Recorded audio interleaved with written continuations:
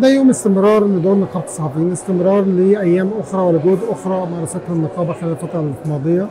اللي هي بدأت من يوم تضامني آه، مع بداية مع عقب طوفان الأقصى ومع بداية العدوان الهمجي الصهيوني ضد أهلنا في غزة وضد أهلنا في فلسطين. واستمرت في لجنة توثيق جرائم الحرب ولجنة توثيق جرائم الإعلام الغربي بحق الشعب الفلسطيني. ومخاطبات مختلفة لجهات مختلفة لمحاكمة مرتكبي هذه الجرائم ومرتكبي الجرائم ضد الصحفيين.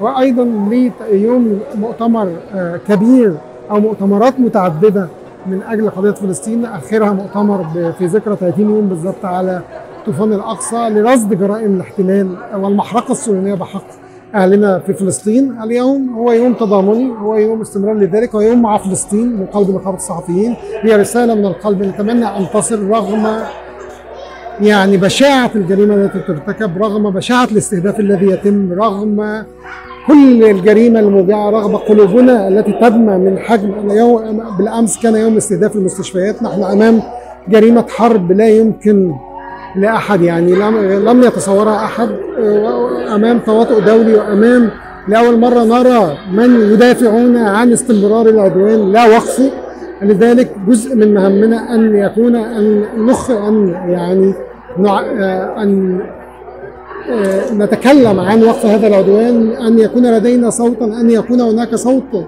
يخرج من هذا البلد وصوت دولي لوقف هذا العدوان فورا أو لوقف هذه المحرقة فورا اليوم هو جزء من هذه الفعاليات.